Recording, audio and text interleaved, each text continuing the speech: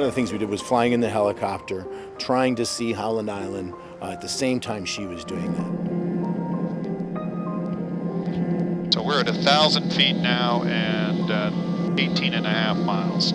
4,000 feet. This is exactly the altitude Amelia Earhart was at when she was looking for Howland. It should be right. It's right out here to the left, right? Yes, it is. Directly out the left door.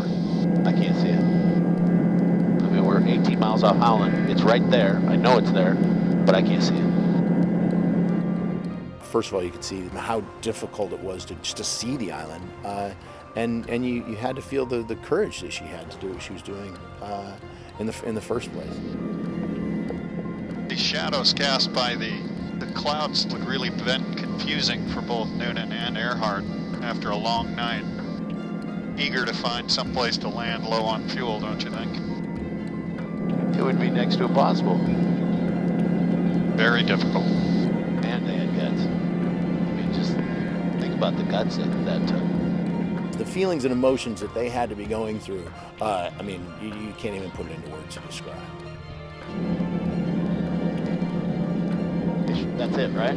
Right there? Yes, that's it right there. Yeah, that's it. But you can see it from this this distance. But how do you? you're not difficult to discern it at this distance. Very difficult She could have been right there, which would be, you know, which would be really sad if, if they were that close, and I never found it. That would be, uh, that would be really sad.